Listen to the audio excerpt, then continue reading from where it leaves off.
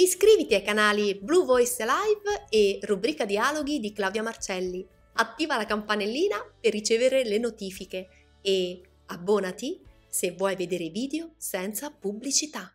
Buona visione! Finché saremo al mondo, non potremo essere senza tribolazioni e tentazioni. Infatti, sta scritto nel libro di Giobbe che la vita dell'uomo sulla terra è tutta una tentazione. Dunque, ognuno dovrebbe stare attento alle tentazioni e vigilare in preghiera affinché il diavolo non trovi il punto dove possa esercitare il suo inganno. Il diavolo, che mai non posa, ma va attorno cercando chi possa divorare, Nessuno è così avanzato nella perfezione e così santo da non aver talvolta delle tentazioni. Andare esenti del tutto da esse non possiamo. Tuttavia, per quanto siano moleste e gravose, le tentazioni spesso sono assai utili, perché a causa loro l'uomo viene umiliato, purificato e istruito.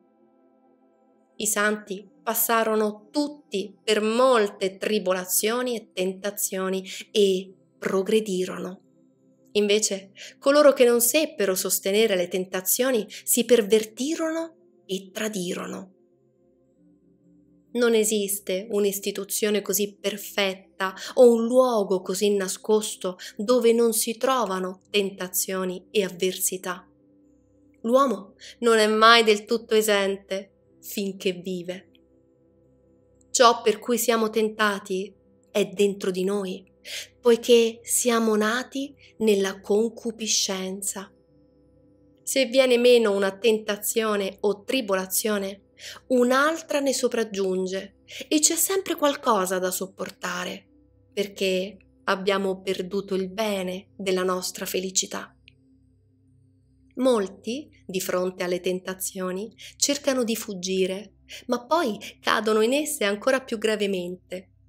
Non possiamo vincere semplicemente con la fuga, ma è con la sopportazione, con la vera umiltà che saremo più forti di ogni nemico. Ben poco progredirà colui che si allontana un pochino e superficialmente dalle tentazioni, senza sradicarle tosto ritorneranno ed egli sarà ancor peggio.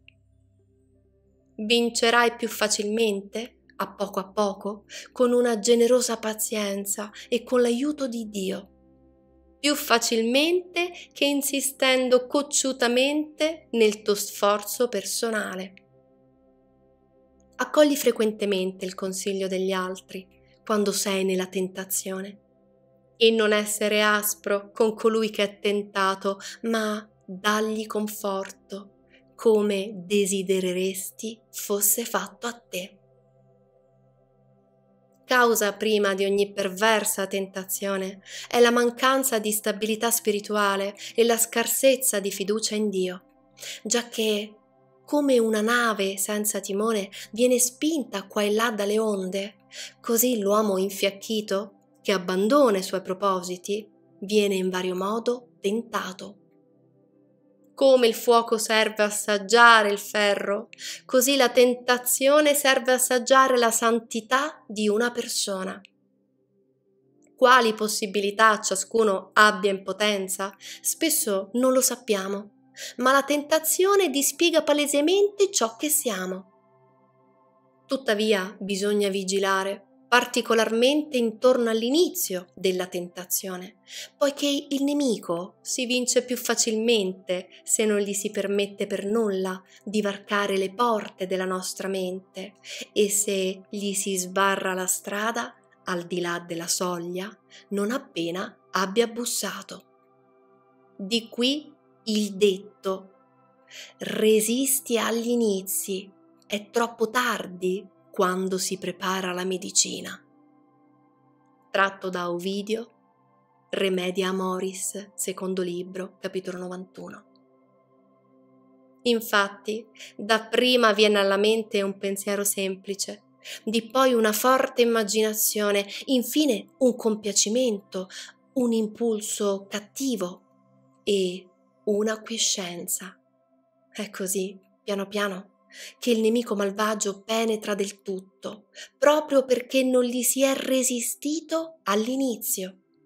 E quanto più a lungo uno ha tardato torpidamente a resistere, tanto più si è via via interiormente indebolito, mentre il nemico è andato crescendo di forze contro di lui.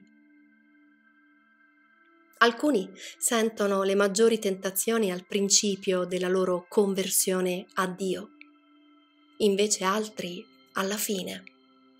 Alcuni sono fortemente turbati pressoché per tutta la vita altri sentono tentazioni piuttosto lievi, secondo quanto dispongono la sapienza e la giustizia di Dio, le quali pesano la condizione e i meriti di ciascuno, preordinando ogni cosa alla salvezza degli eletti.